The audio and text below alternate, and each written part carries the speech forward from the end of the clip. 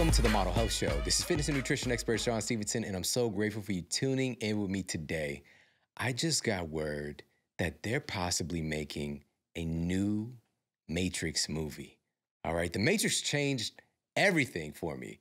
And I remember at the time when the first Matrix came out, Keanu Reeves, Laurence Fishburne, all right, Carrie-Anne Moss. When that when that movie first came out, I was working at the front desk at the Ramada. All right. I was at the Ramada. I was in college and I was working part time at the Ramada Hotel. And I was the quote front desk manager. Everywhere I go, I find myself being the leader of something, right? And but it, you know, I had some some issues about the way they was running the hotel. That's a whole nother story. Always wanted to innovate. But I remember there was a guy who would come in just about every week. You know, he traveled for business and he would stay at the Ramada and he you know, we say hi, you know, just passerby, give my man the key, very low maintenance. He went to see The Matrix, and I was standing at the front desk. I didn't really have any intention on going to see the movie. My man stopped and he looked at me in my eyes and my soul, and he said, You have to see that movie. It changed my life. You've never seen anything like it. And I'm just like, he must have had a cappuccino. I don't know. I thought maybe he was just ramped up on something like, I don't know, maybe he was doing some illegals. I don't know, but I never seen my man like that. And so I was like, we got to go check this movie out. So I went to see it and I got it. That movie changed the way that movies are made, but it also brought forth a really powerful perception about reality in and of itself and the fact that we can be trapped inside of our vision or definition of what we think reality is. And the, re- the, the reality of the reality is that sometimes that can be a beautiful trapping. You know, uh, there's a statement that ignorance is bliss, right? But at the end of the day, as we're learning more about human anatomy and physiology and biology and the universe itself and the I just saw something the other day that really baked my noodle on how many galaxies there are, right? There are literally billions upon billions upon billions of other planets. And we all we know, we're still trying to figure out stuff here without messing ourselves up. Right? There's so much more to learn. And so this is why I make it a mandate to bring on multiple perspectives, to bring on conversations and researchers, leaders in their field who think differently about certain subject matters. And today we have somebody who thinks differently about food, right? And so we've had on some of the top experts uh, with, with a with a more omnivorous perspective, with a vegan perspective, with a paleo perspective, with the ketogenic perspective, Mediterranean diet, the list goes on and on. There's so many different diet approaches. Today, we're gonna be talking about the carnivore diet. All right. And so again, I just want you to come into this with an open mind, possibly free your mind, and consider some of these aspects because it's really fascinating when you think about some of these different insights as, that he's going to be sharing.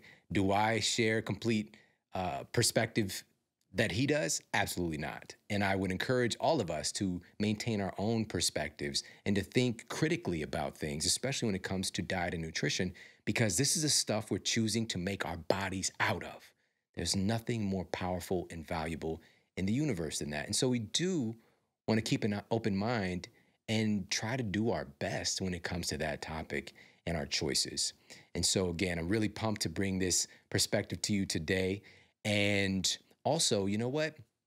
Something that we immediately agree on in the health space is that we all need to move our bodies. All right. We all need exercise. The human body is designed to move.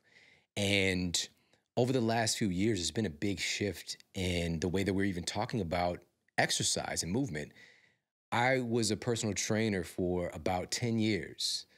And through that process, I came into the game on some other level stuff just because of my exposure, right? I was working with a guy who was uh, this uh, award winning um, bodybuilding type guy, right? And he knew all these little tips and tricks and insights and, you know, quote, natural bodybuilder, which I don't know. I mean, he was pretty cock diesel. He worked at another job with me, funny enough, that was across the street from the Ramada. It was the casino. All right, so casino's working at.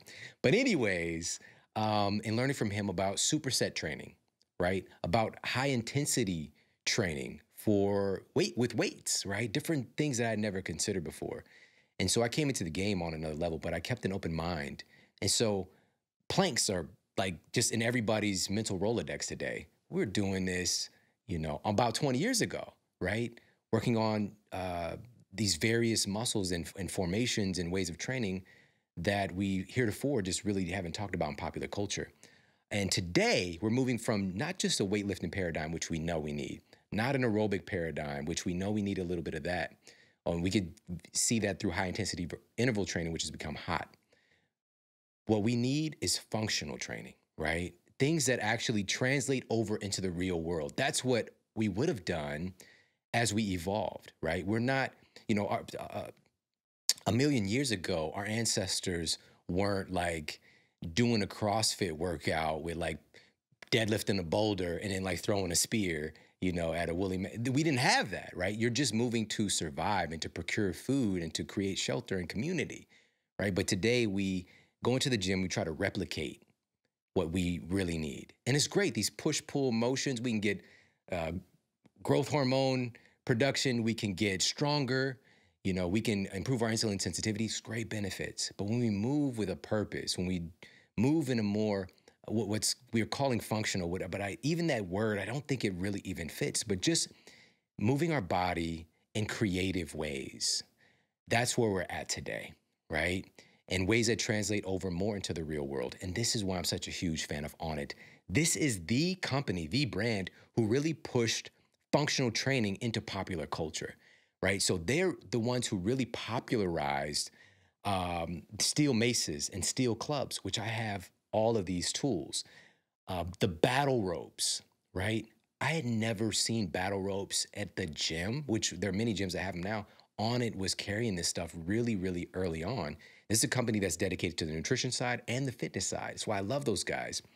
And so I've got the steel clubs, steel maces, these tools. I've got the battle ropes. I've got the primal kettlebells, the ones that you see even, you know, The Rock using, right? This big gorilla uh, and they've got these cool Marvel kettlebells when they have them in stock, Star Wars kettlebells, all these cool designs, and taking it from just a you know kettlebell, which looks pretty cool, but to something that like I I love picking this tool up.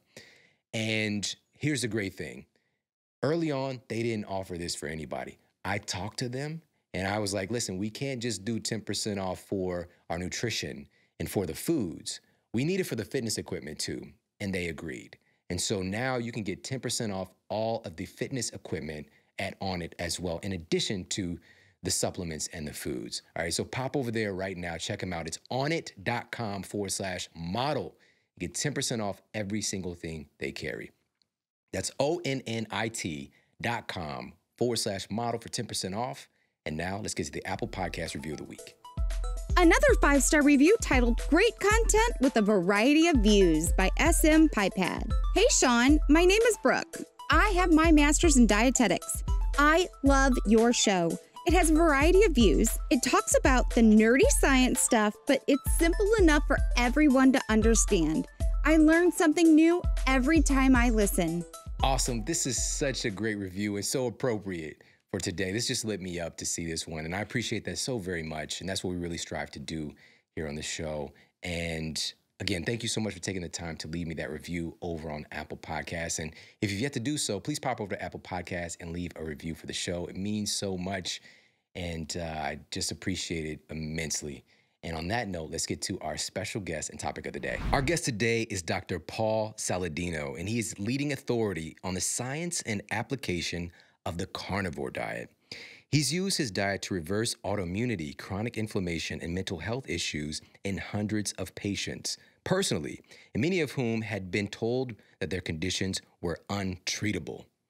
In addition to his personal podcast that he has right now, it's called Fundamental Health. He's a featured contributor for Psychology Today, and his book, The Carnivore Code Unlocking the Secrets to Optimal Health by Returning to Our Ancestral Diet, will be released coming up very, very soon. So keep an eye out for that. And when he's not researching connections between nutritional biochemistry and chronic disease, he can be found in the ocean searching for the perfect wave, cultivating mindfulness, or spending time with his friends and family. And we're going to jump into this conversation with Dr. Paul Saladino. I just saw a great post. It was from Jason Weaver. Uh-huh. Now that may, name might not sound familiar to you, but there are some people who are like, um, they saw the the Jacksons TV special, which seemed to be repetitively on TV all the time. He played young Michael Jackson. He played on a television show, and he also had some R and B and like hip hop because he's a singer, but he would like sing on a song with like Chingy or something. But here's the thing: the big claim to fame for him that most people don't know, he was the voice of Simba in The Lion King, the original movie All right. right? The cartoon. And so his mom, they and like they were still they they were just kind of getting by, you know, like they were just starting to get a little bit of traction with his career. Disney offered him two million dollars, and he was just a kid, really. Like maybe he was in you know 14 years old or something. And at first, like they're celebrating, jumping around the house, and then his mom. It took a little while, but she was like, "Wait a minute, why they want to give us two million dollars? Right? There's something bigger here." And so what his mom intelligently did, which is like really difficult to do, is say, "Wait a minute, we want some of the overall." Yes. right? And they end up getting maybe a hundred thousand dollars and like back end. So he's still getting paid On the Lion King, on the Lion King. which is probably one of the most successful movies. He's made well over two million dollars from it. Yeah. You know what I'm saying? So it's just thinking in those terms Yeah. and thinking outside the box. And that's something that you're doing. And you got this new book coming out. And I know it's been, listen, I know that writing a health book might not be great for your health. you know what I'm saying? I try though, man. One of the things, so I grew up with a dad who's a doctor. Mm. And so I saw from an early age a discordance between lifestyle and intention and lifestyle and practice, right? Yeah. My dad is one of my idols. Like, I, you know, maybe he'll listen to this podcast, maybe not, but I hope he does. I'm sure he'll read my book. And in the book, I kind of tell him, you know, hey, dad, you know, I'm proud to be your son and you mean a lot. You know, it's really cool to have been that way. But one of the hard things for my dad was that he was an internist, super smart guy, Yeah. worked his butt off, worked his butt off, and became unhealthy working his butt off doing that. From my earliest adult days, I have mm. never wanted to do that. I've never believed in doing that, and I've never been willing to do that. So throughout everything, I've always kind of felt I need to keep the balance. I Yeah. have to keep the balance. And I actually feel that as humans, I'm a better creative person when I'm doing the things I like to do, when I'm passionate. If I'm not surfing and working out, my brain is not going to work as well. Mm. And as an entrepreneur, Yeah. as a budding entrepreneur, it's been a fun process to learn that and to realize, like, whoa, this is endless work. Like, I could work all day, all night, seven days a week and push things forward. But I'm going to be, it's not about that anymore. It's about thinking clearly and creating the best quality content that I can on podcasts with my book. Not the most content, just the most quality content. And it, to, in order to create the most quality content, I have to go surf. Yeah. Oh, I love that so much. And that's really today. We need that. There's such a uh, just a massive amount of content out there, but we need It's good noise. content. It's noise. right? Right? And There's so people much thinking noise. like you are. I Yeah. love that, man. There's so much noise out there. And so to ask the question of like what got you interested in health, I think I just got the answer already. It's probably just being around your dad. I think that, I mean, I was fortunate to grow up in a medical household. That's a fascinating question. What makes us healthy? What makes us sick? Everybody wants to be healthy. Everybody wants to feel good, you know? Like, I think everybody, I hope everybody listening to this has had at least some point in their life where they felt good. Yeah. Not everybody listening to this feels good now, but a lot of people have felt good at one point, and they either felt good doing gymnastics or playing water polo or playing golf or playing cricket or baseball or whatever they did in their life. They felt good on the beach with their family. They had these moments that were just diamond, where they were cle clear headed, their mood was good, they were happy with their body, they had libido, they had energy, and they were sleeping well. And like that's that's that's what it's about, right? Like we're not here for a long time, so we might as well have a good quality of life. So that's what Mm. I think I became fascinated with that very early in my life. How do I get more of that? And how do I help other people do that more too? Like, what a fascinating question. Like, the quality of life, it sounds trite, but man, that's what we're all after. And so that has been a question I've been iterating in my mind for decades. You know, Mm, yeah. What makes people unwell? I remember asking my dad that when I was probably 13 years old. That's a big question. What causes heart disease? That that's always been kind of the first one that fascinated me. What causes atherosclerosis? Right, right. What causes what it? causes it, Dad? You know, and we can get into it, you know, Yeah. for sure. But he was like, nobody knows. yeah, And I was just gonna say. well, I bet I know what his response was. He said, nobody knows. That was 30 years ago. Yeah, Now I, we pretty much know. Yeah. You know, I it's debated and it's yeah, people don't agree on all of it and the nuance. But I, I want to know because I don't want heart disease, right? Yeah. I don't want to have a heart attack. yeah. I don't want to have a stroke. I don't want to have diabetes. How do I avoid those things? I want my back to work so I can jump and do back bends and surf, you know, and all these things. Yeah, absolutely, man. And this just remind me of a line from Drake. He said, "I'm here for a good time, not a long time." Uh-huh. You know, and just like looking at our our lifespan as human beings. And I just, you know, recently had a conversation with Dr. David Sinclair, Right. who we'll probably bring up here at some point. Yeah, we should. and understanding like the the right now it's very finite you know like we're looking at ways to extend our lifespan our health span but we a big part of this and what i hear you saying is like it's enjoying the process and part of that obviously is is uh, cultivating good health and a part of that is our mental health and also we're going to talk today about how our diet can affect that which we'll get to in a moment but i'm wondering for you you know and so much has changed like you said in the last 30 years i remember not being able to really even say that there was a cure for type 2 diabetes, for example. But this is something that can literally be turned on and turned off. And the science is pretty clear now. But what we've learned in the last few decades is just absolutely incredible. But you're coming from a place where you were in a conventionally driven mental perspective and you took a pivot along the way and you realize that food has a lot to do with our health, which is very challenging and all of the friends that I have who are physicians, me going pre med and and looking at, I was immediately taught pharmacology, right? Right. But you gave this really powerful insight that food, if you look at the measure of food, and I want you to break this down, the measure of food versus the measure of a drug we might take, it doesn't even compare. This food matters a lot. Food matters a ton. And you've hit on perhaps one of the most important points. When Western medicine realizes this, the paradigm will shift. And the, the simple fact of the matter is that there is no bigger lever for health and disease than food. And all discussions of whether you espouse a vegan diet or whether anyone espouses a carnivore diet or a paleo diet or a keto diet, if Western medicine opens its mind just a hair to the possibility that food could influence disease and that food is the driver, then the amount of research that will come out of that will change the world hmm. because that is the research that's not being done. So many people with inflammatory bowel disease, Crohn's, ulcerative colitis, or irritable bowel syndrome, or other autoimmune conditions, thyroid disease, whatever, are going to their doctors and asking the question Does food have anything to do with my Hashimoto's? Does food have anything to do with my ulcerative colitis? Does food have anything to do with my eczema? Does food have anything to do with my, what's another good example? Rheumatoid arthritis. And 98% of the time, they're getting the answer no. Yeah. And that is wrong. That is 100% wrong because food is the lever. And, you know, my, I realized that pretty early. I, I realized that what I ate influenced the way that I was going to feel. And this probably came from my early athletic endeavors. I never had an, a very illustrious athletic career, but I was an athlete and I ran. The first thing I did was running and distance running. Eventually, I did ultra marathon distance running and have since become a little more sane in the mind in terms of my activities. But, you know, as an athlete, any athlete is going to realize that the food they eat influences the way they perform. That's the first thing. But Western medicine has forgotten that. And I say forgotten because we, we used to know that. But in the last 100 years, the pharmaceutical model has really taken over. And what we're taught in medical school is how to diagnose a disease and then which pill to give for that disease. We're never taught to ask the question, what causes this disease? What caused that? If, if we started asking that question, people would have crises of faith because they would come up with, we don't know often.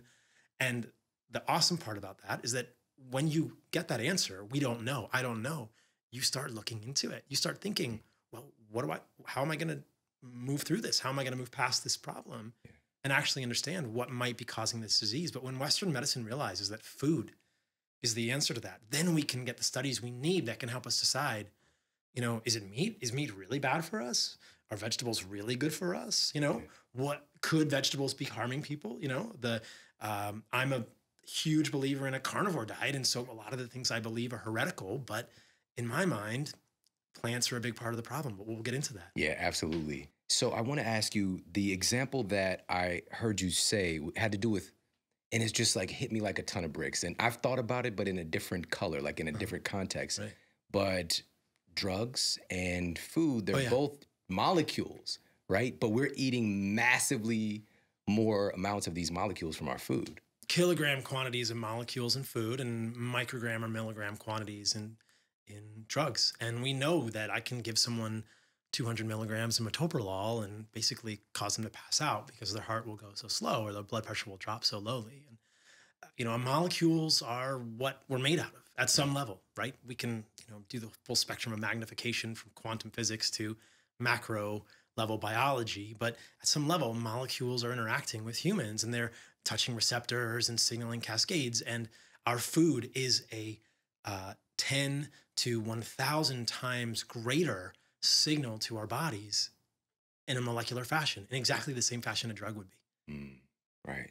Man. And just putting in that perspective just like really lit me up. And um, again, like, and this is the thing that I, I love about your approach too, is that there are many different pieces of this equation that we're all figuring out. And there's a lot of stuff that's still on the table. Yeah. You know, drugs do stuff. They do. But food, man, it, it does stuff too, but Food we've does stuff. overlooked it long enough. Food does stuff. And by the same token, as we'll get into, molecules in plants do stuff.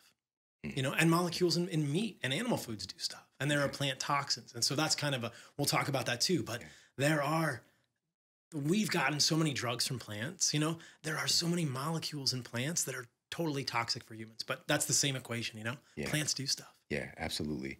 Um, one of the people that really sparked me to just be like, I've I've got to talk to him was Mark Bell. Uh-huh. I talked to him a little while ago, and he's just and it's it's he's crushing it, you know, and he's doing the carnivore diet, and I wanted to look for a little bit more information, more clarity on it, and you know, people kept pointing me to you, and so one of the things that I first heard you say was that the carnivore diet isn't a meat-based diet it's an animal based diet. So let's talk about that distinction.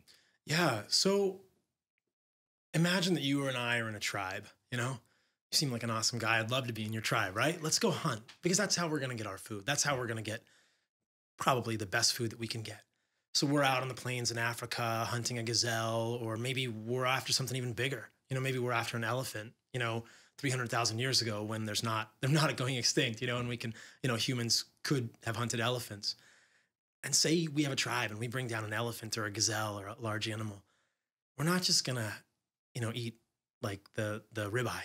You know, we're not just gonna eat an elephant tenderloin or a woolly mammoth tenderloin. We're gonna eat the whole animal, and because it's calories and the what happens accidentally, probably from an evolutionary perspective, is we get nutrients from all these different parts of the animal. There are different nutrients in different compartments of the animal. Our muscles have different physiology than our liver than our kidney, than our spleen, than our brain, than, you know, any piece of your body, than your blood. And so our body uses nutrients differently throughout the body. So a muscle, piece of muscle meat, like a steak, is not the same nutritional content as liver or kidney. And so our ancestors have always known this. They eat the whole animal. And if you actually look at the way that indigenous people generally eat animals or carnivorous animals eat other animals, they often go for the organs and fat first. Uh, one of my good friends, Mike Mutzel, has a podcast you might know about high intensity health in um, uh, Seattle, and he has chickens. And you know, he lost a couple chickens to raccoons, but he said something that was really striking for me. He said the raccoons only ate the stomachs of the chickens. They didn't eat the chicken breasts or the chicken thighs or you know these are wild chickens, so they don't have these huge breasts like factory farm chickens do. But Breastises. breastises. but the you know the raccoons ate the abdominal organs, Yeah. and you'll hear these indigenous accounts of. Uh, you know, we hunt an animal. The first thing that we've traditionally done in our tribe is eat the liver raw, and it's savored. Everyone gets a little piece. It's like it's sacred because they knew that if they did not eat the liver, eventually they would develop nutritional deficiencies or Right, something would happen. And you can eat a lot of meat on an animal-based diet, but you to be ancestrally consistent, to be nutritionally complete, to really kick a lot of butt, the organs are where it's at. And combining them is an evolutionarily consistent behavior. So it's an animal-based diet. Yeah. And we've definitely um, moved away from that Oh, in yes. recent decades Oh, for yes. sure, you know, and to the degree that even the idea of eating a heart or a you know liver or brain or anything like that is just like so far off of our radar but again like looking back on the way that we traditionally ate animals that we would hunt yeah this is a huge part because I think that one of the things i'm, I'm hearing you allude to is that you can because for me immediately I'm like well what about these certain nutrients And you're saying that these are potentially the most nutrient dense foods, period. You know, in taking into consideration plants as well. Is that, is that Absolutely. The idea of nutrient density is a little bit misguided, but nutrient availability and nutrient richness, you know, density is a is a is a is a weight per volume measure, right? Yeah, so right. if you're talking about nutrient density, the arguments always end up that a, a multivitamin is the most nutrient dense thing on the planet because you can get all these nutrients in a very small pill. But a better measure is taking into account bioavailability and nutrient richness or the amount of Yeah. nutrients that occur. So it's it's a multifactorial equation. It's it's not just it doesn't have a single variable. The first variable is how much of a nutrient is present in a food, and the second variable is how much of that nutrient can we get out of it. Right. And the third variable is are there things in that food that prevent us absorbing the nutrient, which is kind of tied into that second variable. How much can we get out of it? So when you're thinking about it that way, gosh, you can make a really strong argument. It's basically an open and shut case that animal foods are the most nutrient rich foods on the planet and the most nutrient bioavailable foods on the planet. They're just, we get so many of the nutrients. The corollary to that is also that there are numerous nutrients in animal foods that we know humans need to thrive that do not occur in the plant kingdom. Mhm. And the reverse is not true. Things like carnitine, creatine, choline, vitamin K2, they're B12. B12, exactly. There are so many of these, and many of those we can make very small quantities of in our bodies.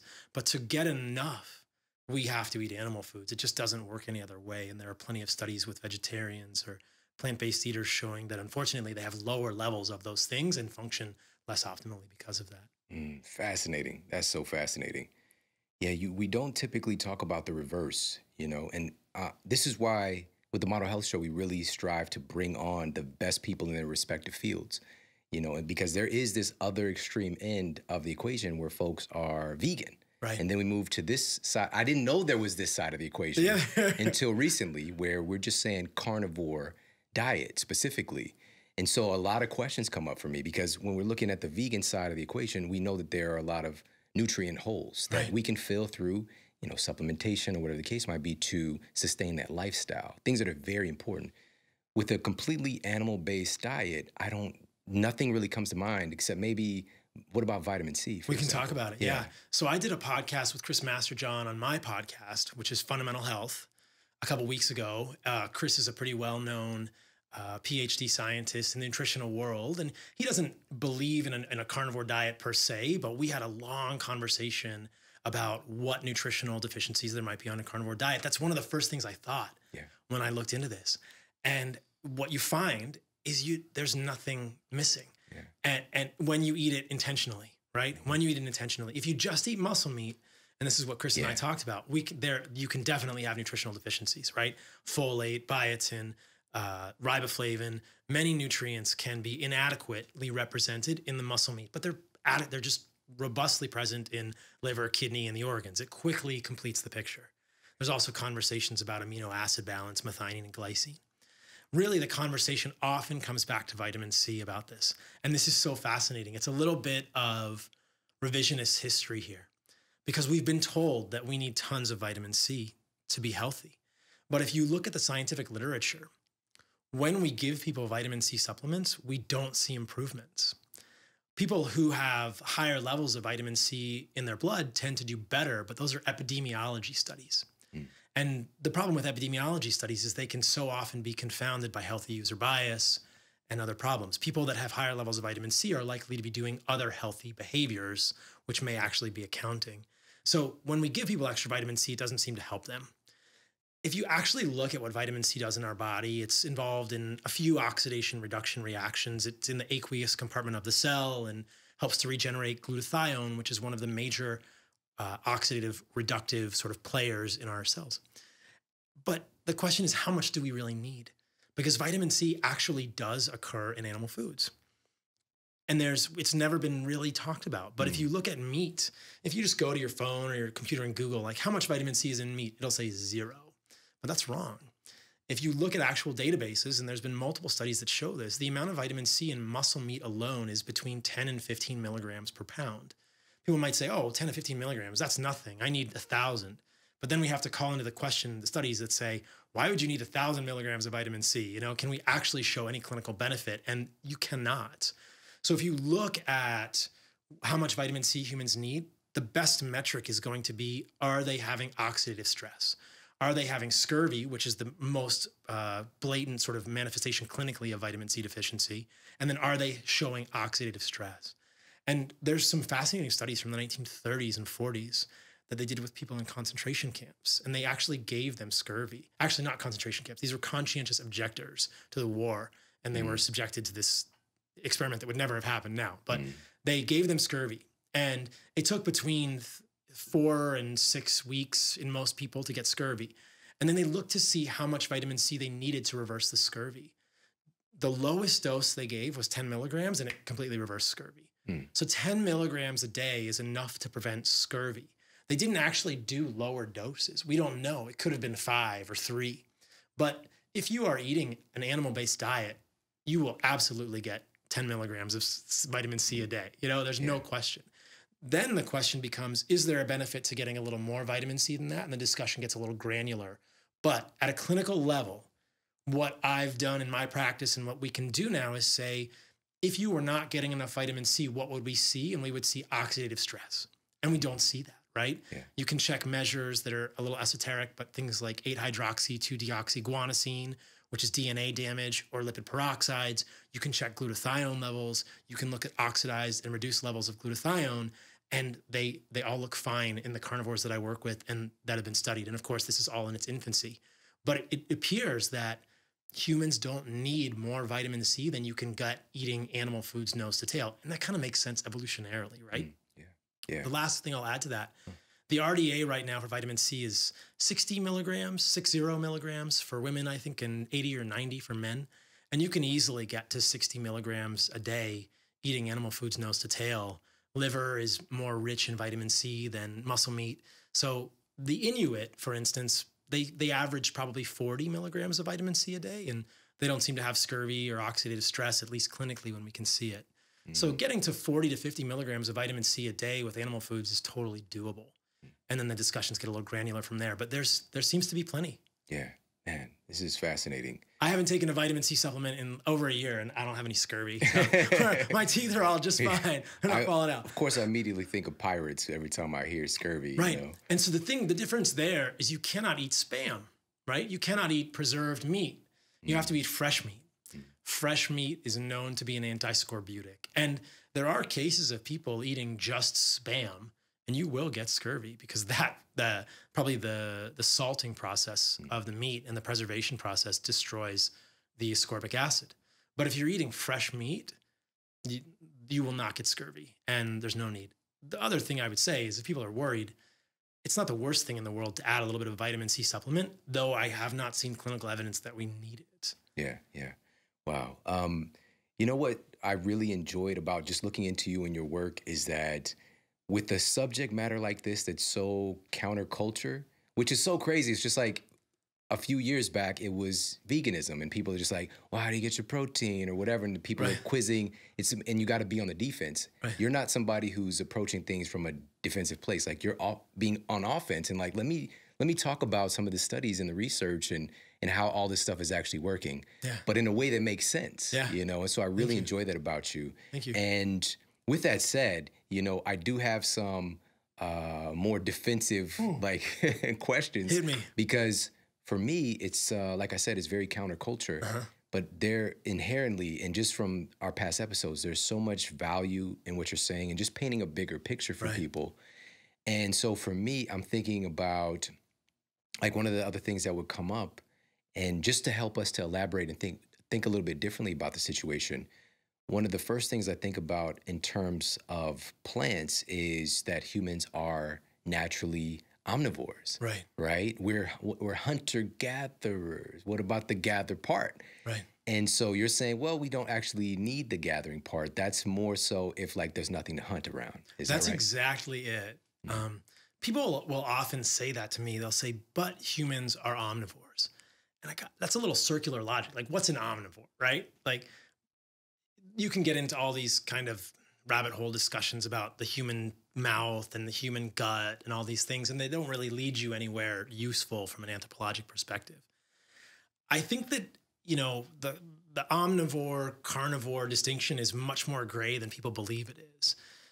For instance, we might consider wolves and dogs to be omnivores, or maybe we'd consider them to be carnivores. You know, wolves don't eat a lot of plant matter in you know in uh, in the wild, but if you feed a dog a kibble cereal, you're probably going to give it cancer long term, but it's not going to die tomorrow, right? And he'll eat it. He'll eat it, right? Does that mean it's a carnivore or an omnivore, right? So it's kind of a misleading distinction. It's the question. The more interesting questions for me is which diet is going to create the best health for any individual, and there may be some variation between individuals, and we can talk about that as well. I do think that throughout evolution, humans have eaten plants, but you hit on this point perfectly again, we can never know this, but if we look at the paleoanthropologic record, there's a pretty convincing story that it was the hunting of animals and the consumption of animals that made us human, that allowed our brains to grow. If we look at the size of the human brain, for instance, right? So I was just listening, just listening to this great podcast with Bill von Hippel on my way up here. Um, he uh, he's a sort of a uh, an anthropologic uh, guy as well, and he wrote a book called The Social Leap, I believe. It's a really good book. But so humans diverged from apes six million years ago. There was a change in the Rift Valley in Africa, and we kind of were forced out, out onto the savannas. And we can see from the size of skulls how big our brains were. And we know that primate evolution preceded human evolution for 30 million years. And the size of primate brains is it stayed common, it stayed consistent. You know, monkeys, primates eating vegetable, primarily plant-based diets had the same size brain for 30 million years. When we moved out of the savannah, we were uh, out of the trees into the savannah, we were forced to start eating animals a little bit.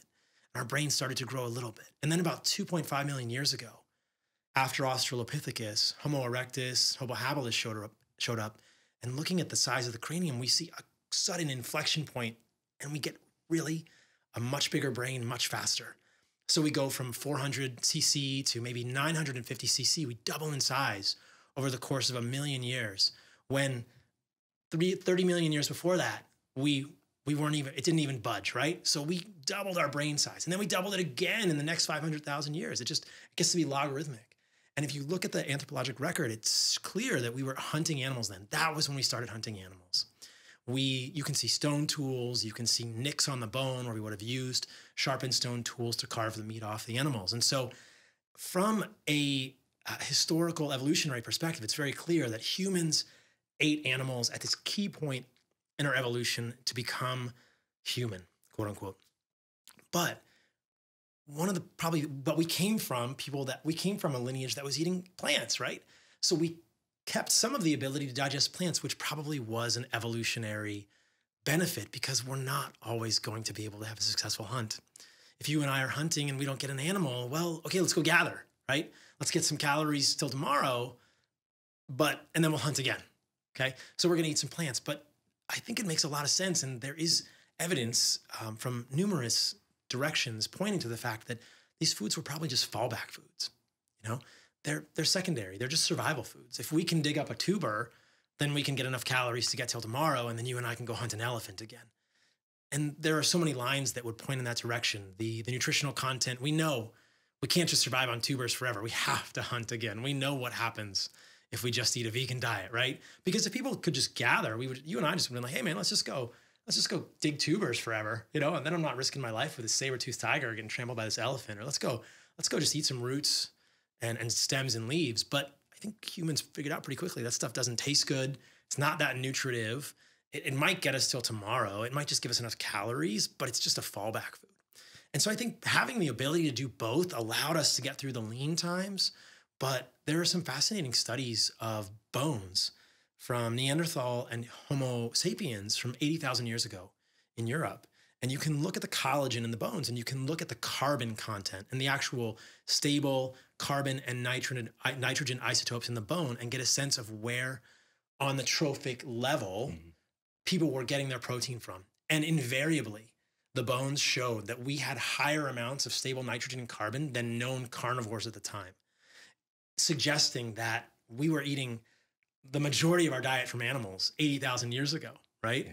Hunting. So you can look at hyenas and how much how much stable nitrogen isotope they have in their bones and we had more than that. So we were eating more and bigger animals than they were. And if we'd gotten any significant amount of protein from plants, that would have declined, resulted in a decline in our stable nitrogen levels. So I think that humans have eaten plants, but like you said, they've been survival foods, and the animals are where we get all the nutrients from. Hmm, interesting. Survival foods. Um, and this brings me back to uh, somebody we talked about before the show, Yeah. Daniel Vitalis. Oh, yeah. And he's he he coined the term surthrival. Right. right? And so he's another one of those cases. And you know, um, for me personally, and working in this field for it's getting close to 20 years now. You know, about 18 years, and seeing so many cases of folks who, because you you mentioned this in passing, but who take on a vegan diet and it generally lasts within we'll say five years is like the max for most people. Now, of course, we have many awesome vegans who listen to the show. And there are these, and I'm just going to ask you, are these anomalies for folks that have been vegan for 20 years, 25, 30 years? You know, you you kind of touched on this earlier, and I, want to stay open minded and and appreciate people where they are. I think that anytime someone makes a conscious choice for diet, they're doing the right thing. Like if you're if you're thinking about what you're eating, whether you're choosing to eat a vegan diet or a carnivore diet, you're on the right path, right? Yeah. I just want the people that choose to eat a plant based diet to be aware that nutritional deficiencies may develop and the toxins in plants have been shown to trigger inflammation and issues in the gut and could activate the immune system.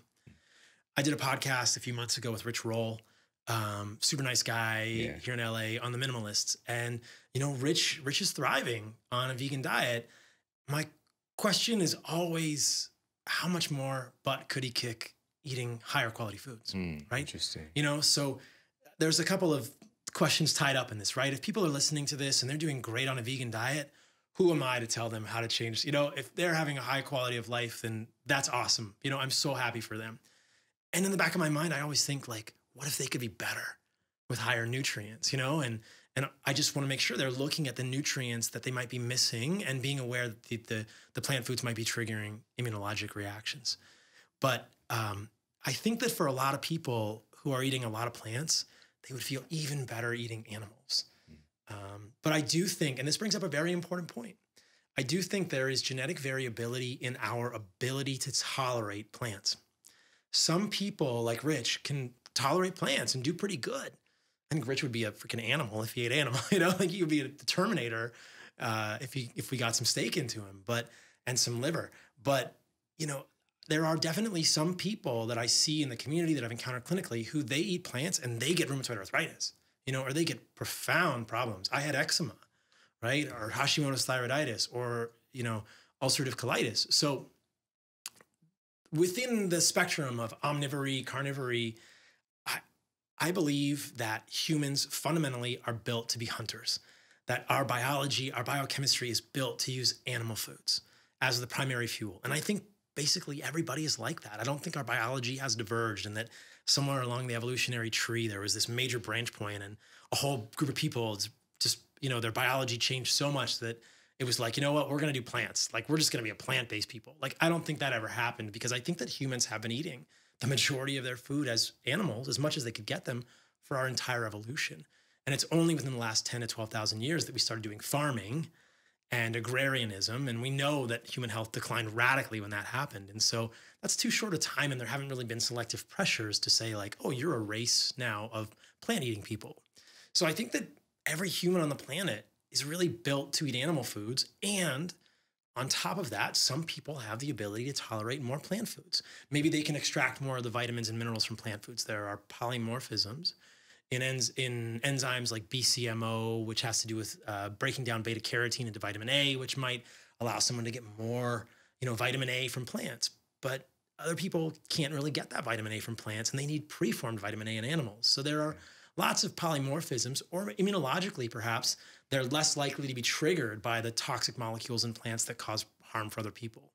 So the people that are thriving on plant-based diets, that that's great. I think they would do better on animal-based diets.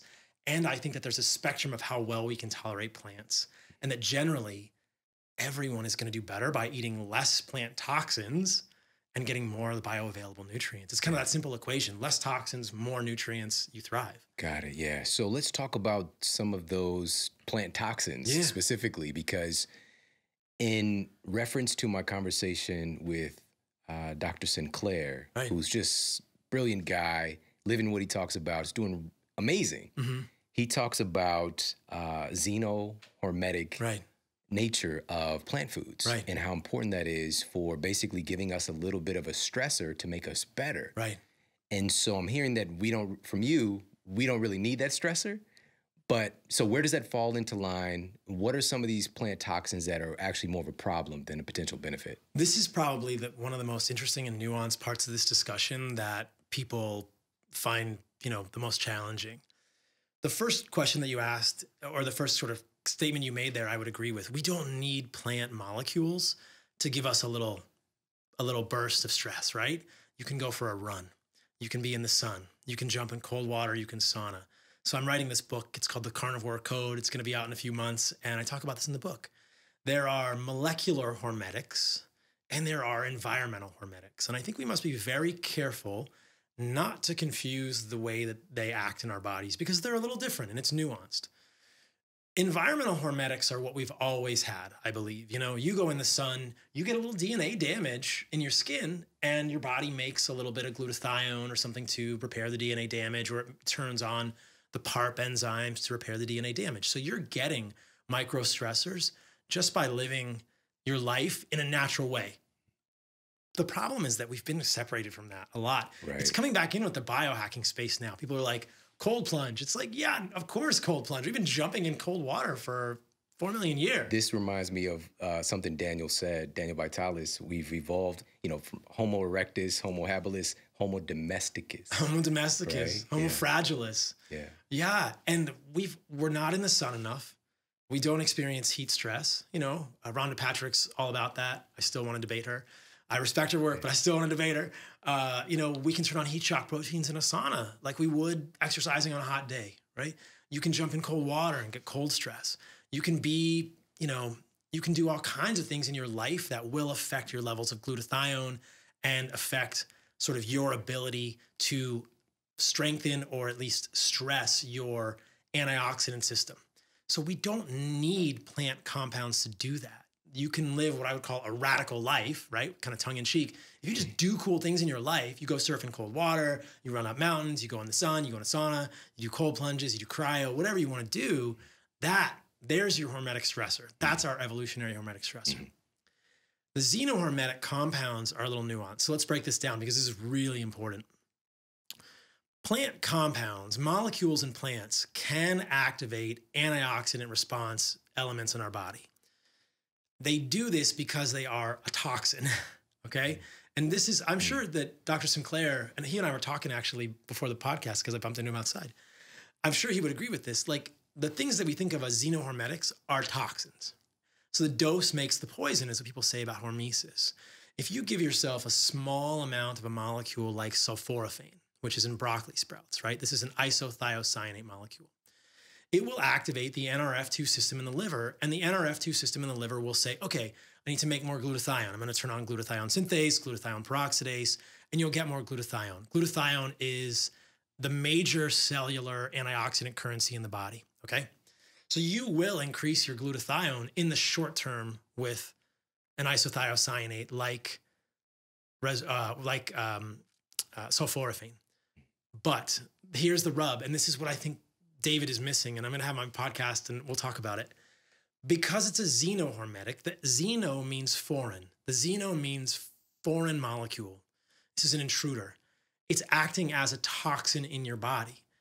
It's not just going to NRF2 and turning it on and making glutathione.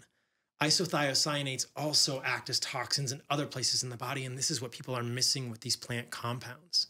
Sure, there are some of these xenohormetics that will increase your glutathione in the short term, but we're never told about the fact that they do other damaging things in the body. This is what I call collateral damage because they're from a different operating system.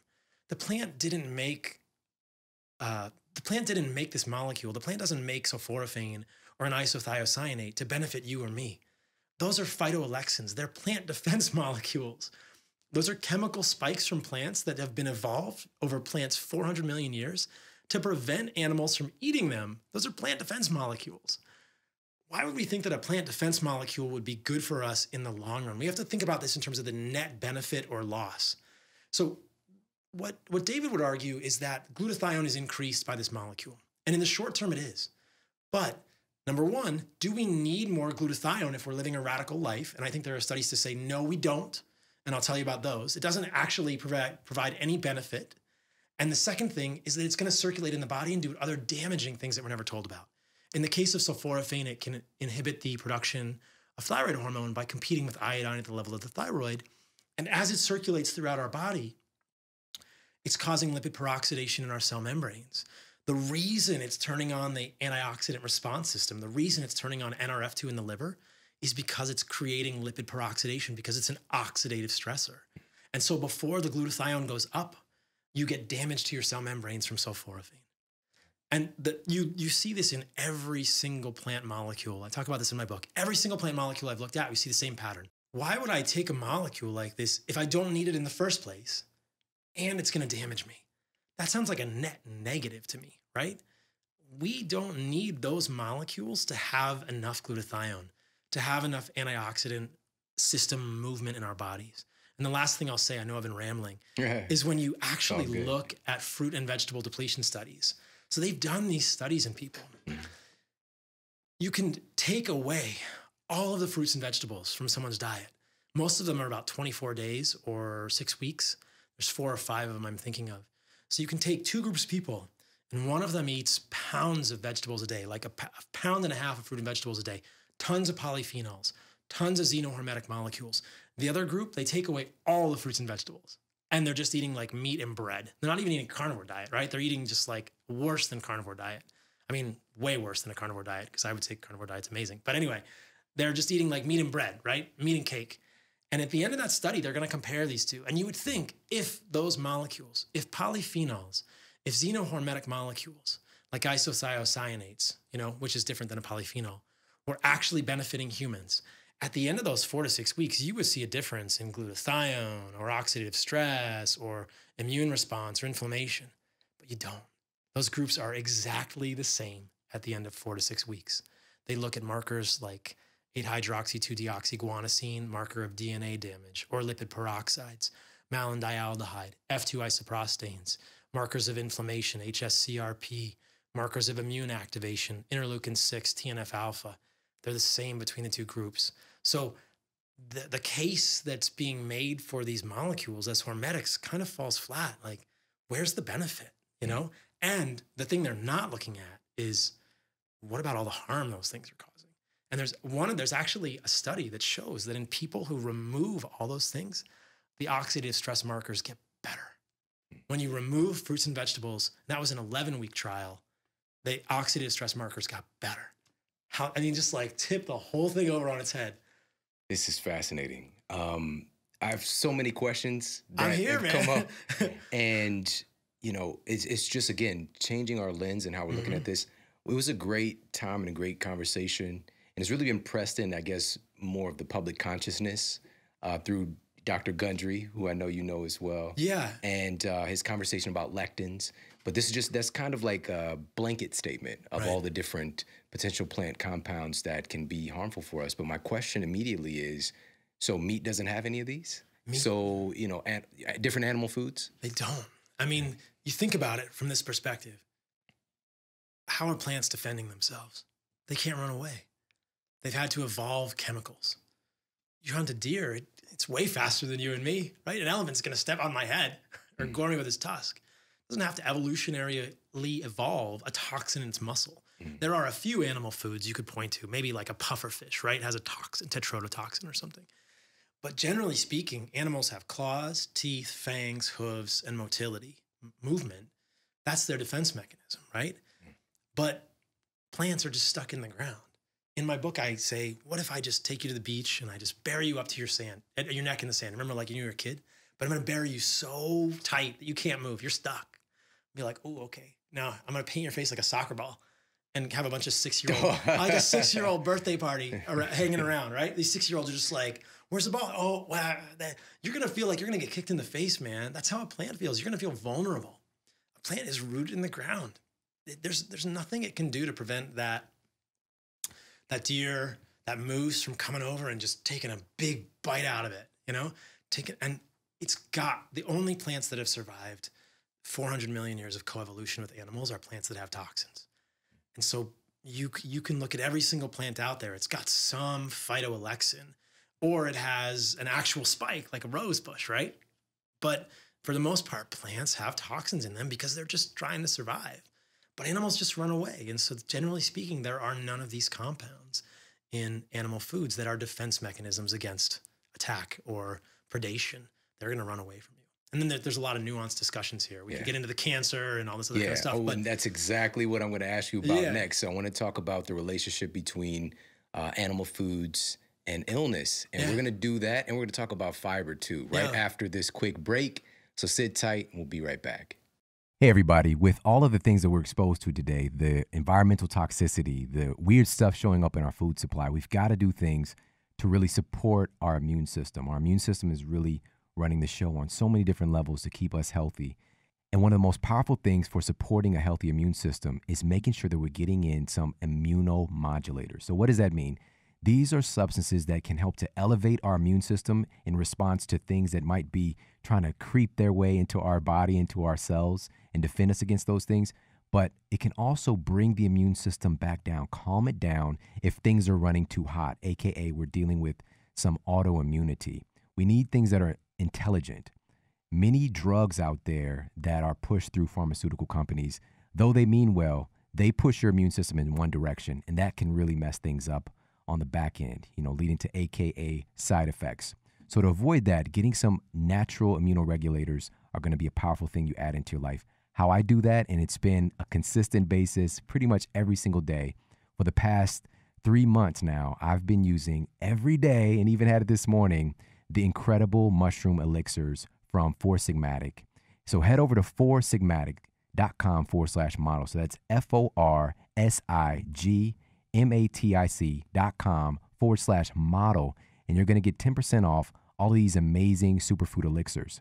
My favorite is the chaga, and chaga has been clinically shown to increase your NK cell activity, so your natural killer cells, over 300%. It's also the most powerful antioxidant that we've ever seen in the history of humanity that humans actually consume. Powerful antioxidant, powerful anti-cancer, powerful immune system regulator.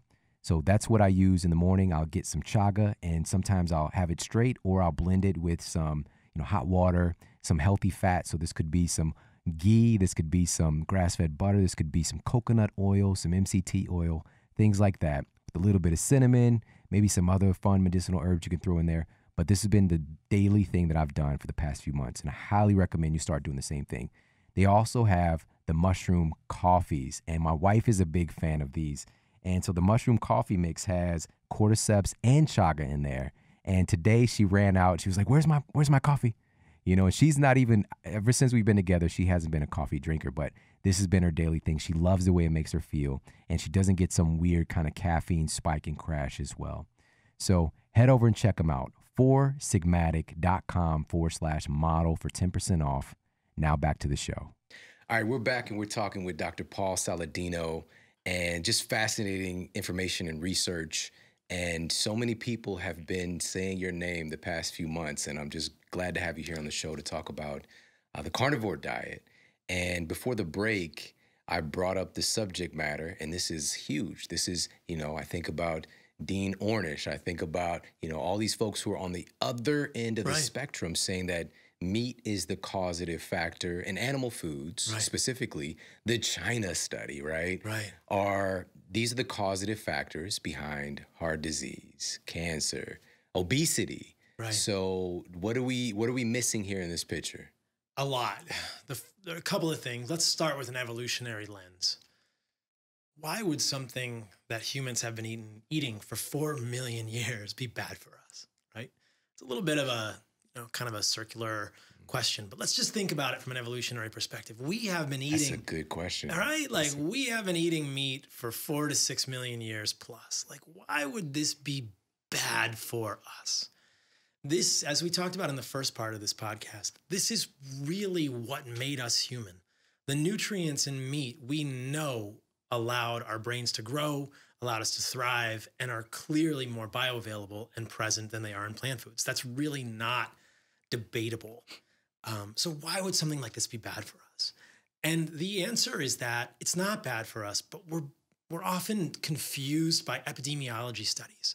So I've done a number of debates with vegans or gotten into these sort of conversations repeatedly, and I would love to talk to Dean Ornish or Joel Fuhrman or Dr. Greger or any of these vegan pundits, right? Or Joel Kahn. But at a, at a scientific level, I believe they're well intentioned and they want to help people, but they're misled. And if you look at the evidence that they bring forward, it gets to be a little nuanced, but they can only provide epidemiology studies. And so I think that the main reason that people are so confused and just is that if you look at the type of study these physicians are suggesting as supportive of their cause, it's all epidemiology. It's not interventional. And you know, the layperson is like a programmer or an engineer or you know, an economist or a businesswoman or something. They're not familiar with the distinction between epidemiology and interventional medical studies, but this is what's being done. This is the wool that's being pulled down over our eyes. And I don't mean to suggest that there's really a nefarious motive here, but I think that at some level, there's a lot of misleading things happening in terms of the world of plant based uh, thinking. So there are studies in the West, right, of Western populations that show an association, a correlation between more vegetables and longer life. But as we know, correlation is not causation. There's this great website called Spurious Correlations. Have you ever seen this? I haven't. It's just this guy, just a statistician doing funny stuff. You can make some incredibly uh, accurate correlations between the number of movies Nicolas Cage appeared in in a year and the number of violent deaths by hanging. You know, or the number of the amount of cheese consumed per capita and the number of deaths by getting tangled in the bed sheets. You know, and on a yearly basis, like there, you can correlate all kinds of things that don't have any causative relationship, right? And so that's what epidemiology does. It says, okay, Shawn and Paul, we're gonna we're gonna give you a study. We're gonna give you a survey. What have you eaten over the last five years? And you say, oh, I mean, this much stuff, right? And they, and how are your health outcomes now? But there are so many variables that doesn't account for. What is your marital status? Do you have a partner that cares about you? Are you financially well off? Do you go to the physician to get regular screening for things like colon cancer or breast cancer? Do you exercise, right? That's not really taken into account. They try, but they can't really do that. And what we tend to see because of what we've been told, what's the narrative that we've been told for the last 70 years within the US? Meat is bad for you, fat is bad for you, vegetables are good for you. So who eats more vegetables? People that are doing the right thing, quote unquote. Mm. People that are exercising, they're playing tennis, they're golf, they're in the sun if you look at the socioeconomic status of people who are eating more plants, they're higher because they're kind of listening to what's coming down from the health authorities. There's the, I need to do the right thing, right? I need to eat more salads because, and they have the ability to kind of get that information. Well, who's eating more meat? It's people who are, you know, lower socioeconomic status. They're kind of the James Dean types. Like, you know what? Hamburger's good. I'm going to eat that. And they're also eating a hamburger with bread and fries and a milkshake and a Coke. So, can the survey distinguish all that? No, it can't really, right? The people who have eaten the most meat in these epidemiology surveys over the last 60 years are also the people who are eating more junk food, smoking more. They're more overweight, they're more diabetic, and they're more obese. And so, of course, they look like they're unhealthy. But this is the type of study that these plant based people are pushing. And they're saying, look, there's an association here. Clearly, this should be causal But it starts to fall apart when you take any epidemiology that's not done in the Western world that doesn't have the same narrative, right? If you go to Asia, for instance, there are large epidemiology studies of more than 100,000 people. And the narrative there is different. In Asia, in Hong Kong, if you eat meat, you're like, you're doing good. You know, you're in like royalty or your meat is associated with a higher socioeconomic status in Asia. So what do we see? We see the complete opposite. But the, the plant-based folks never tell us about that in Asia, if you look in, at all cause mortality in Asia, the more meat you eat, the lower your all cause mortality is. You live longer in Asia if you eat more meat. So if we take and jump out of the survey type of study and we look at what's actually happening Right. within ourselves Mhm. from a biological level, is there any association with red meat, for example, No. and heart disease? No, there's not in interventional studies. So it's all epidemiology again, right? And it's all confounded by these healthy user and unhealthy user biases.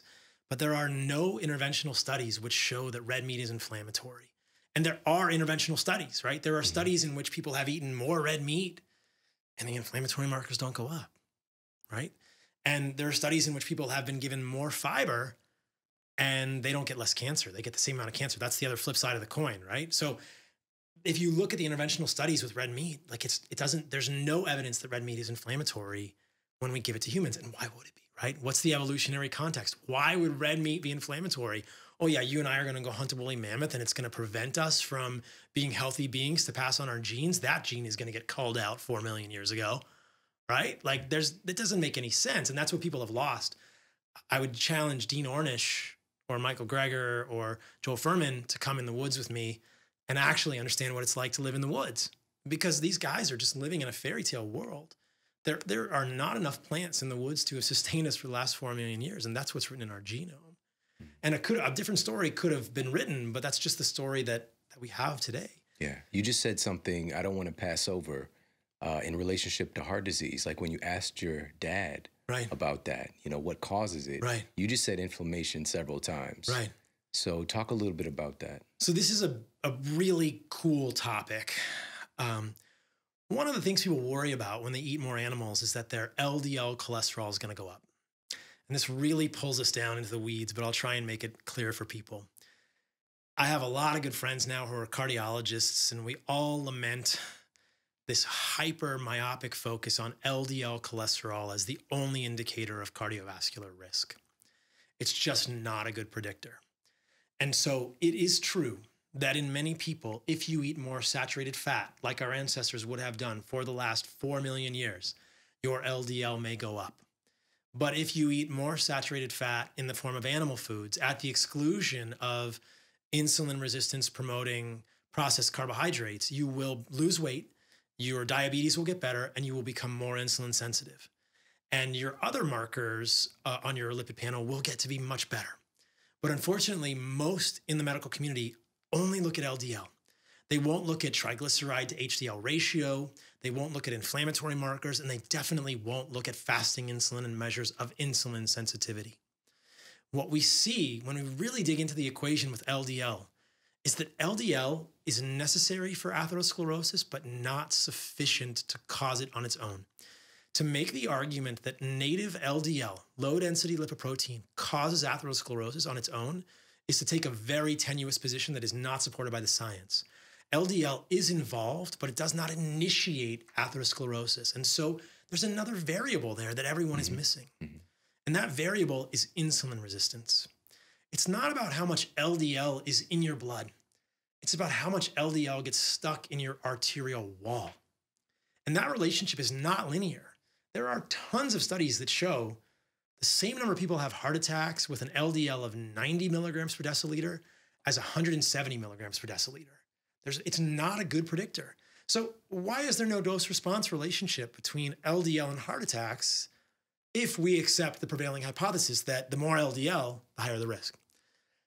Furthermore, if LDL is enough to initiate atherosclerosis, why don't we get atherosclerosis in veins? Atherosclerosis only occurs in arteries, which are high pressure, and probably because of the high pressure, damages the endothelium more. The endothelium is the inner cell layer of our arteries. It has a very uh, delicate layer of glycoproteins called the glycocalyx, which protrudes from it and is kind of waving in the flow of the arteries. And so, in higher turbulence areas, that glycocalyx can get damaged a little bit. And if the LDL is, uh, if there's inflammation and insulin resistance, then the LDL will come into the arterial wall. But in the absence of inflammation, in the absence of insulin resistance, doesn't matter how much LDL you have in your arteries, it won't come into your arteries. And we know that LDL is beneficial. This is another fascinating point that I talk about in my book. Nobody ever talks about the fact that LDL is a carrier for cholesterol, but LDL also has immunologic roles in the human body. It protects us from bacterial infection. people that have higher levels of LDL are protected from bacterial infection as they age. And then we come back to this fascinating evolutionary lens. Why would evolution have designed us to have something in our bodies that is good for us, that protects us against bacterial invasion, and is also killing us? It doesn't make any sense, right? It's there's clearly the other there's another piece of the equation, and that piece of the equation is it's not about how much LDL you have, it's about how much, how much LDL gets stuck. And insulin resistance and inflammation are what make LDL sticky and your arteries sticky. And that's why we don't get atherosclerosis in our veins because we need a little bit of damage in our arteries to initiate the movement of LDL into the arterial wall. And inflammation is the beginning of that, and turbulence is the beginning of that. But LDL itself is not enough. So the take home here is meat and heart disease. Are we looking at epidemiology studies? Probably. If we're looking at mechanistic studies, LDL will rise. But like I said, there are so many amazing studies that show that as we age, higher levels of LDL are protective. So the story has clearly just not been fully elaborated for us, and it's quite fascinating. Um, I I take great pride in the fact that my LDL is robustly high, and uh, that that is serving immune roles and delivering cholesterol to my testicles to make testosterone, yeah. and delivering cholesterol to my skin, and you know gives me the building blocks of steroid hormones Yeah. Vitamin D3. Yeah. Vitamin D3 while I am insulin sensitive because I can check my fasting insulin and my HDL is also very high and my triglycerides are very low. But if I went to a traditional doctor, they would look at this and fall out of their seat, completely missing the fact that my HDL is 95 and my triglycerides are 46. You know, Yeah. like show me someone like I just don't believe that with that amount of insulin sensitivity, any human is going to develop Yeah. atherosclerosis. You seem very healthy, but you'd be on a statin. I would, I would be, I would, and in a, in a paternal 1984 society, I would be on a statin in a heartbeat, and that statin would uh, limit my ability to produce testosterone. It would inhibit all the other things that I'm doing with Increase cholesterol. your insulin resistance. It probably it would increase my insulin resistance Yeah. by affecting the mitochondria. It would affect the production of cholesterol in my brain. It might predispose me to dementia later on. It would do all these bad things when in fact, if we have a risk of coronary artery disease, we just need to make sure that we are insulin sensitive. Yeah. This is fascinating and just really uh, important things for us to consider. That angle about the, the veins, like Right. I never thought about that before. That's really, really interesting. Uh, the, there's so many things I want to ask you about, but uh, the, the final topic that I want to make sure to cover, and this is what immediately comes up for, uh, especially in the in the health space. You know, people who are um, adamant about the consumption of fibrous, specific, specifically fibrous vegetables, Right. fibrous foods, Right. and what the hell, you know? So, w- what about that? What about this angle with fiber? We are we getting any from animal foods, or you know, is that is that the question to ask, or i- are we missing the point? Do we not need fiber like we've been taught? Yeah, this is again, I love it. So many great rabbit holes here. The fiber discussion um, often segues into cancer, diverticulosis, and the microbiome. So we can talk about all of those specifically, or constipation. The main question I get from people is how am I going to poop on the carnivore diet? And I want to be like, I'm going to send you a picture of my poop every morning. I'm going to prove to you that you can have beautiful, easy to pass stools on the carnivore diet. So, if we're talking about constipation and you look at the medical literature, this is not debatable. There is no evidence that fiber improves constipation. In fact, fiber fails miserably to affect constipation. Fiber does not increase the ease of stool passage, it does not decrease the pain, does not increase bleeding. It can increase stool volume. It often makes stools more painful to pass because they're bigger. But people with constipation continue to have symptoms on diets, including more fiber. They just have bigger stools. So they might have more poop, but it's still painful and they have to use laxatives to the same extent. So there's no evidence that fiber improves constipation. And there is evidence to the contrary that the removal of fiber in one study resulted in complete resolution of idiopathic constipation in a, in a trial. So they, this is a fascinating trial. They had three groups. It was about 60 people, about 20 people in each group, and all the people in the group had idiopathic constipation. So they they had constipation that the doc, the gastroenterologists were like, we don't know what's causing that's that's idiopathic. One group ate diet as normal, one group ate reduced fiber, and one group ate zero fiber. Zero fiber. The group with zero fiber, 100% of them completely resolved idiopathic constipation within four weeks. 100%. They all resolved constipation. So, a lot of constipation, I believe, is caused by fiber, whether it's fiber feeding methane producing organisms in the gut or fiber triggering other problems in the gut. If someone is listening to this and they have constipation, remove fiber and watch what happens. I can't even tell you how many people I've worked with who have removed plant fiber from their diet and seen complete resolution of GI symptoms, whether it was diarrhea or constipation. So IBS, you know, irritable bowel syndrome, remove fiber and see what happens. Like people will be amazed. On this is like this right? is like when you get that picture on social media of like what color is it? and like this is like the whole and somebody would just blow your mind saying the opposite thing. Like we just had this picture of this shoe. Have you seen the shoe? No. One? And the shoe is clearly pink and white. And my wife is like, oh, it's gray and blue. And I'm just like, clearly there's something wrong with your medulla oblongata, right? But it, this is like so counter what we have been taught. And to hear a statement like that, that's, but here's my thing. And this is something that I know, you know, we, we are still learning so much about it. And right. also, I know that you still have a lot to learn about this subject right. too in relationship to fiber, is what's going on with the microbiome. And if we look at some of the data with, you know, traditional hunter gatherer tribes and what's happening with their microbiome and the diversity.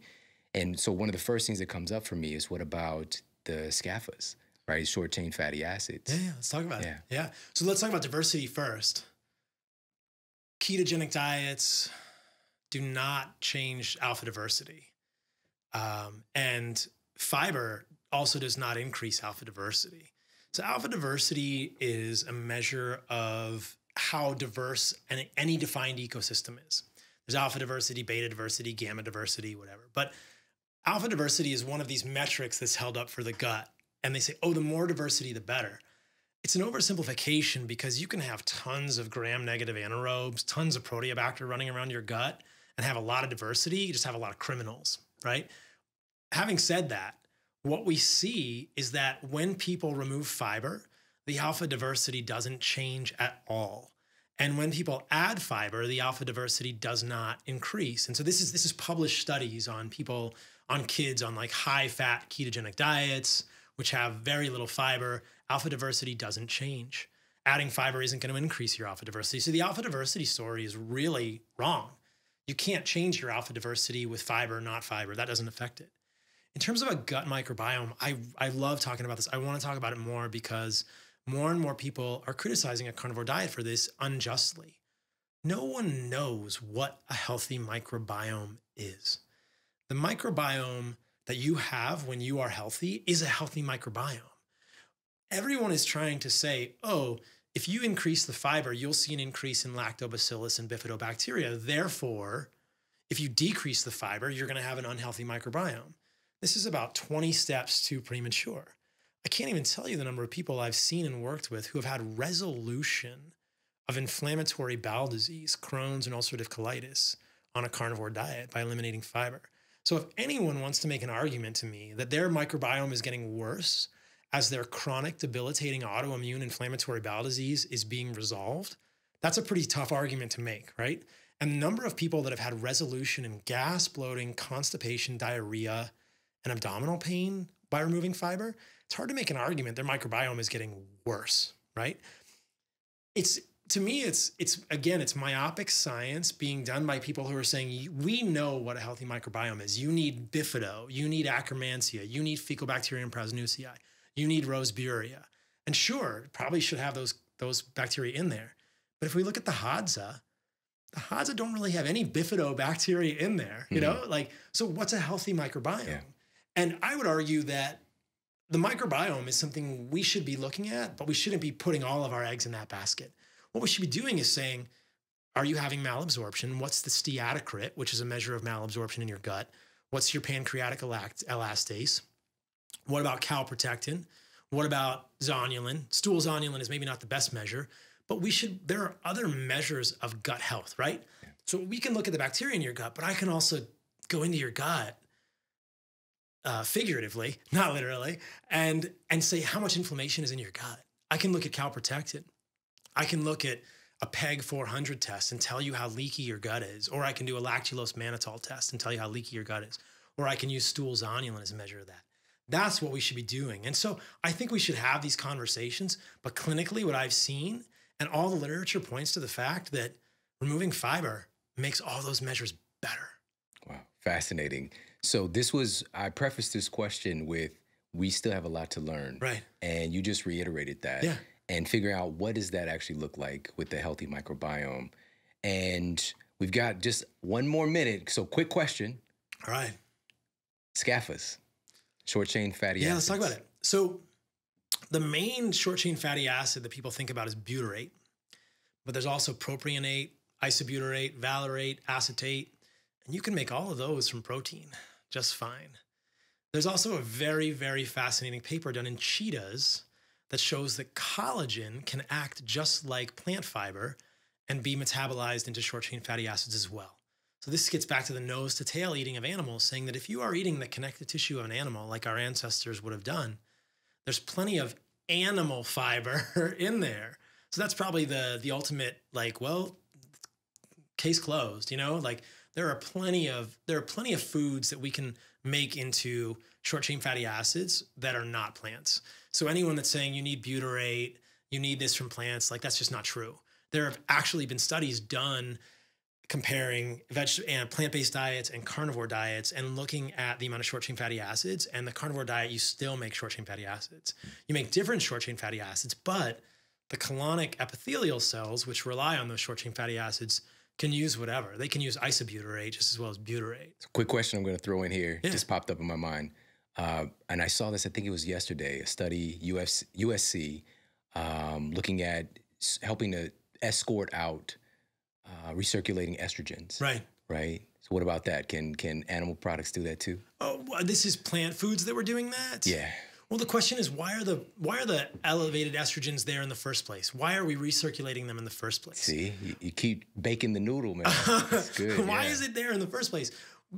Generally, what you think of when you look at a gut test, whether it's a GI map or something, you'll look at something called beta glucuronidase, which is a compound produced by bacteria, and it's also produced in the liver. And if somebody has a high level of beta glucuronidase, we might think they have dysbiosis or the wrong type of bacteria. And that beta glucuronidase can do like its name suggests, it can cleave glucuronide from molecules that our body's trying to get rid of, like estrogen.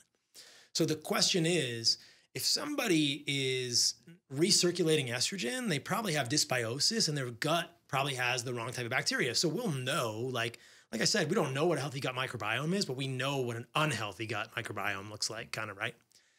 So in that case, they have dysbiosis in the first place, and the plants probably cause the dysbiosis. And in that case, yeah, there are other things you have to do to prevent that recirculating estrogen. In a healthy physiology, you shouldn't need anything added to get rid of excess estrogens. I love it, man. I- Yeah. I- this this is just for me just fascinating, and I love the fact that you've really poured your heart and soul into the research and just picking things apart and trying to figure this stuff out uh, to be able to share with people. And um, like I mentioned, a lot of people are following your work and applying the things that you've been teaching at some at varying levels of, of degrees and they're seeing great results so uh, just huge huge props for you Thank you, for man. that Thank you. and also you've got a book coming out very soon so people keep an eye out for that Yep. and but in the meantime please let folks know where they can learn more about what you're up to where they can connect with you online The best place to go is carnivoremd.com. That's my website. You can find links to everything there. You can find my podcast, my Instagram, everything. Carnivoremd.com. And on that, you'll find a link to my book, which is called The Carnivore Code yeah Unlocking the Secrets to Optimal Wellness by Returning to Our Ancestral Diet. And it'll be out December probably. It'll it'll be big. And the book, so the book is done. I'm in the editing phase. It's Yeah. over 400 pages. I'm gonna have to cull it down a little Yeah. bit, but there's over 300 references in the book. So all the things I'm talking about here, all the studies I'm referencing, every single one of those is in the book. awesome Yeah. man th- again thank you for just having the audacity to kind of be the, the face of this and to to to put so much study and research into making this make sense for people it's it's really awesome man, Man, thank I'm you so grateful to be able to do it. I'm I'm blessed, you know, like I I feel like I'm in the right place and it's been a fun journey and as you see we've covered so much in this podcast. And it's been so interesting and fun to dig back into lipids from medical school and look at gut flora and look at diverticulosis and cancer and heart disease. It's a whole huge thing. We didn't even talk about the environmental stuff today. That's a whole nother thing. But it's been it's been my pleasure and I'm just I'm blessed to be able to talk about it. I'm grateful to contribute to the community. Awesome. I'm grateful for having you today, man. Thanks, Thank man. you. Yeah. Everybody, thank you so much for tuning into the show today. I hope you got a lot of value out of this episode. And listen, this is about thinking bigger, thinking differently, because as he just mentioned, going back and looking at the things that he learned in medical school from a different perspective, just imagine what we can accomplish. You know, we don't want to get caught in our tunnel vision, our tunnel vision and forgetting that there's so much and the human body is so complex and amazing and we live in an amazing universe as well and there's a code to it all you know just to pivot off of the title of his new book coming very soon. And uh, again if you want to learn more about the carnivore diet and what dr saladino is up to definitely check him out on social media pop over there to the website and pre-order the book as well. And uh, we've got some powerhouse episodes coming your way very very soon so make sure to stay tuned. Make sure to share this out with your friends and family on social media. And of course you could tag me you could tag him and let everybody know what you thought of the episode. And again, stay tuned. We've got some powerhouse stuff coming your way. Take care. Have an amazing day. And I'll talk with you soon.